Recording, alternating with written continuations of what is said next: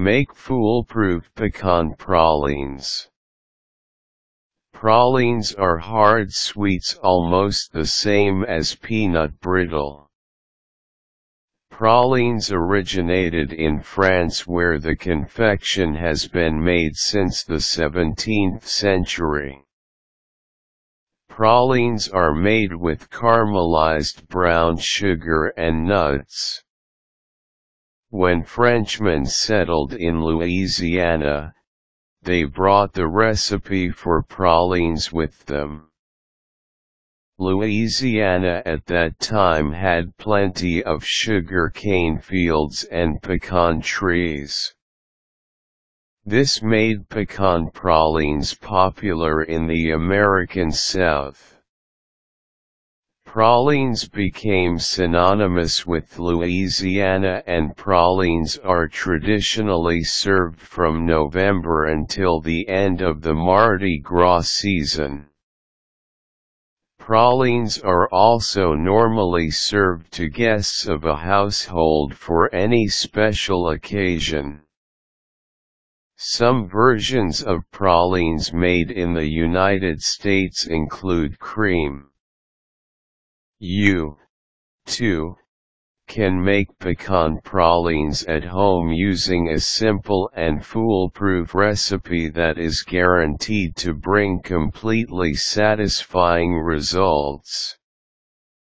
Recipe 1 In a large microwave-safe mixing bowl combine 1 half pint of whipping cream and 1 pound of light brown sugar, a pinch of cream of tartar and a pinch of salt.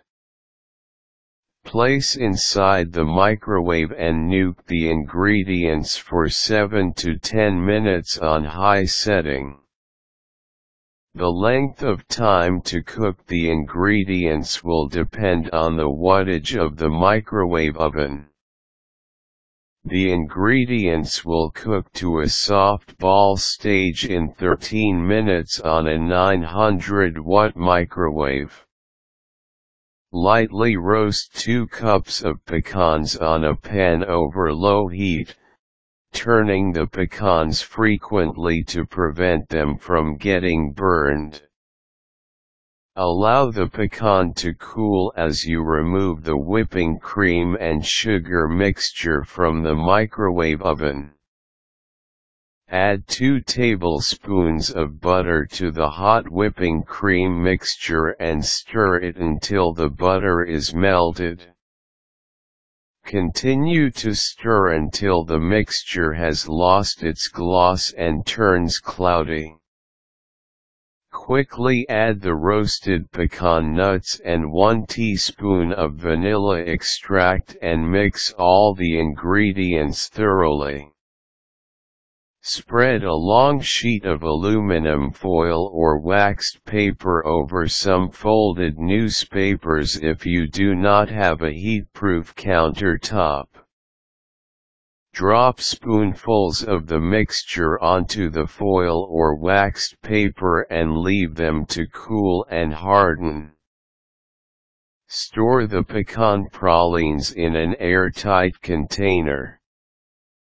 The recipe will yield about 24 pecan pralines.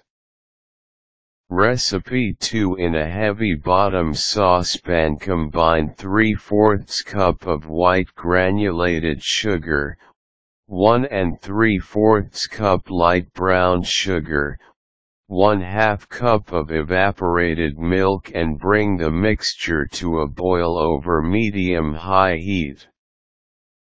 Stir the mixture constantly. The mixture will be done in about 6 minutes. The mixture should reach the soft ball stage before you remove it from the fire. Immediately add 1 4th stick of butter, 1 teaspoon of vanilla extract and a dash of salt.